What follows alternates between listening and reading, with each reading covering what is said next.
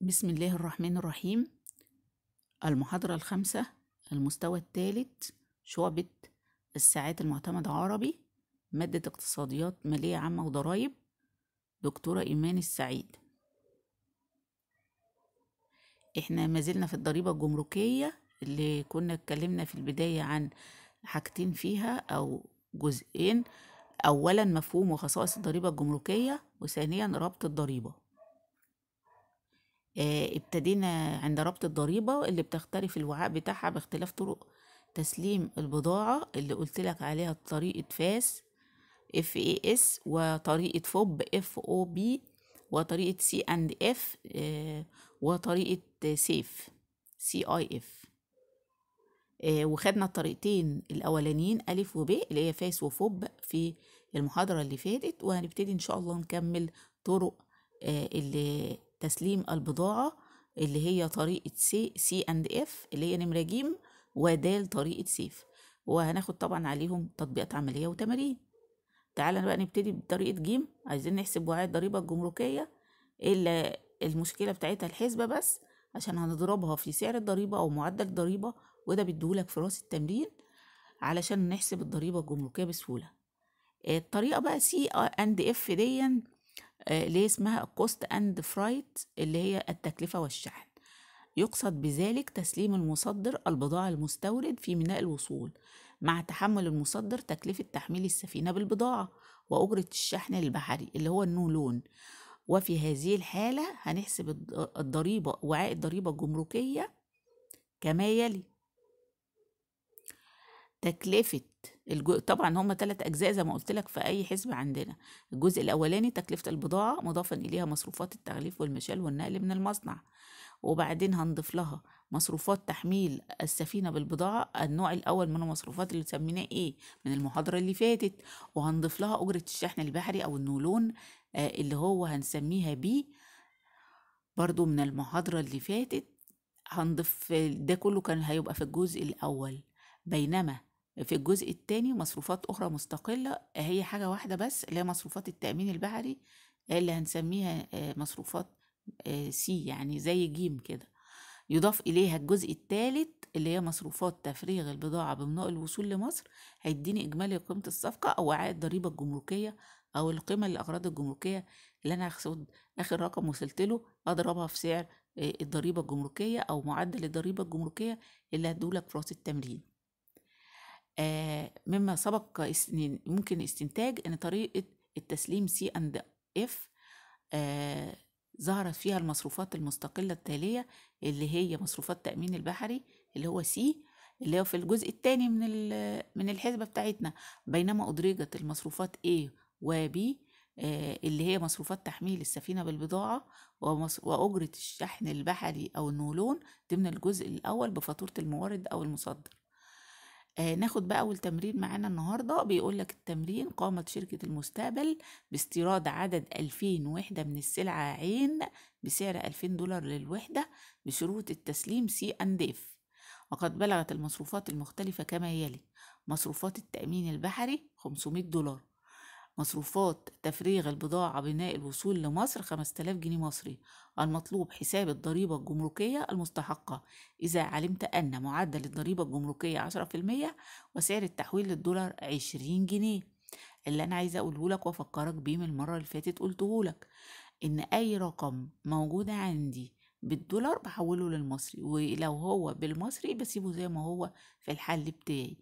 واعمل آه، الحسبة بتاعتي إزاي؟ بعمل الهيكل بتاع الطريقة اللي هي مثلا في الحالة دي طريقة سي إند إف وابتدي أحط الأرقام بقى بتاعتها. مع ملاحظة إن هو اداني هنا في رأس التمرين ده هو عدد الوحدات 2000 وحدة وال بسعر 2000 دولار للوحدة. يبقى هو الرقم ما اداهوش ليا مباشرة مباشرة هضطر إن أنا إيه أضربهم في بعض عشان أحسبه. يبقى الحل بتاعنا هيمشي إزاي؟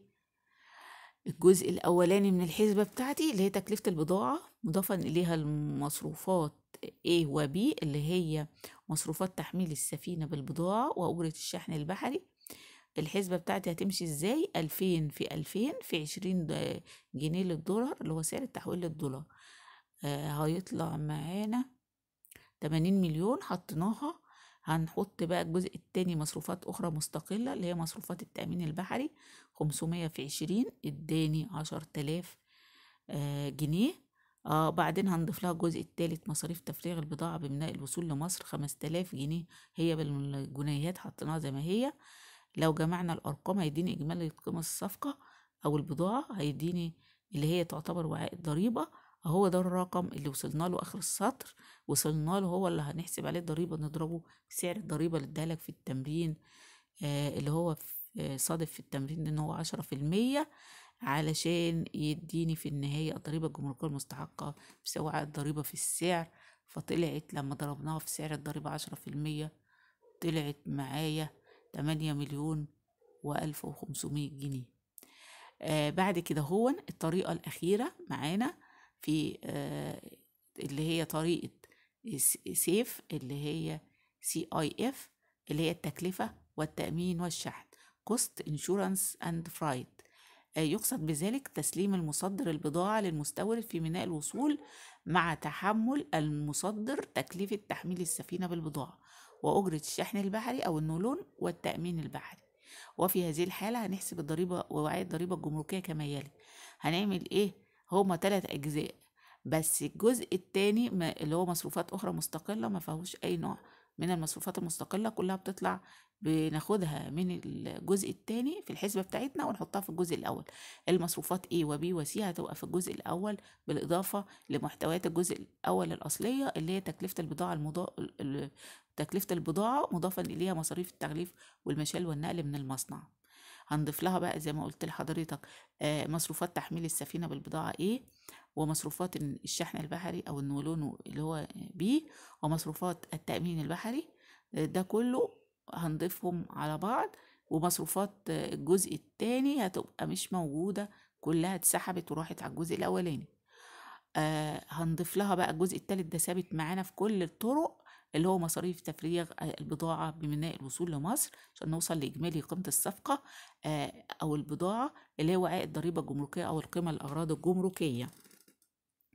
الطريقة دي الأربع طرق هي نفس الرقم اللي هو آخر سطر بنوصل له وعاء الضريبة الجمركية هو نفس القيمة لو هي بالأرقام لكن اختلاف الجزء الأول والتاني دايما بيبدلوا مع بعض بعض الإيه المصاريف بعضها بتبقى موجودة في الجزء التاني وبعضها بنسحبها من الجزء التاني ونرحلها على الجزء الأول وده اختلاف ما بين الطرق في ترتيب الحساب أو المصروفات بس لكن هي نفس الوعاء في النهاية بنوصل له بما إن آخر سطر هو الوعاء اللي وصلنا له نضربه في سعر الضريبة يديها لك في التمرين أو معدل الضريبة وبالتالي نقدر نحسب الضريبة الجمركيه يبقى إحنا كده مما سبق يمكن استنتاج ان طريقة سيف لم تظهر اي مصروفات مستقلة بينما ادرجت مصروفات تحميل سفينة بالبضاعة واجرة الشحن البحري أو النولون ومصروفات تأمين التأمين البحري ضد الحريق والسرقة والتلف. آه ظهرت ضمن الجزء الأول بفاتورة المورد أو المصدر. ناخد بقى تمرين قامت شركة الحياة باستيراد تلات آلاف وحدة من السلعة لام بسعر أربعة آلاف دولار للوحدة بشروط التسليم CIF أو CIF وقد بلغت المصروفات المختلفة كما يلي مصاريف تفريغ البضاعة بميناء الوصول لمصر سبعة آلاف جنيه مصري المطلوب حساب الضريبة الجمركية المستحقة إذا علمت أن معدل الضريبة الجمركية 25% وسعر التحويل للدولار 20 جنيه. زي ما قلت لحضرتك وعمالة بكرر كذا مرة إن لو في حاجة بالجنيه المصري بتبقى زي ما هي. لو حاجة بالدولار بنحولها لسعر تحويل الدولار اللي هو في المثال بتاعنا ده 20 جنيه. عشان كده ممكن نحل التمرين زي ده إزاي؟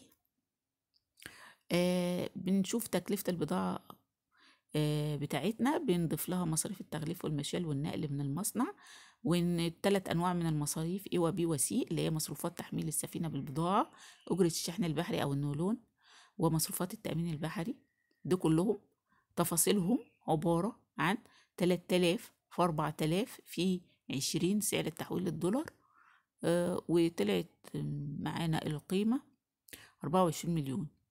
في الجزء التاني مصروفات أخرى مستقلة ما فيهاش أي حاجة لأن سحبنا كل المصروفات اللي فيها وطلعناها على الجزء الأولاني. الجزء الثالث ثابت في كل ال- الطرق آه، تسليم البضاعة وهو يتمثل في مصاريف تفريغ البضاعة بالنقل الوصول لمصر. 7000 جنيه مصري حطيناها زي ما هي ما ضربناش في أي أرقام ولا حولناها علشان ده بالمصري. آه طيب جمعنا بقى كل المصاريف عشان نوصل لإجمالي قيمة الصفقة اللي هو عائد ضريبة جمركية. أيا كانت القيمة تطلع معاك بالآلة الحاسبة بنضربها في سعر الضريبة اللي هو خمسة وعشرين في المية في التمرين بتاعنا عشان يديني الضريبة الجمركية المستحقة. شكرا لحسن استماعكم وبالتوفيق إن شاء الله.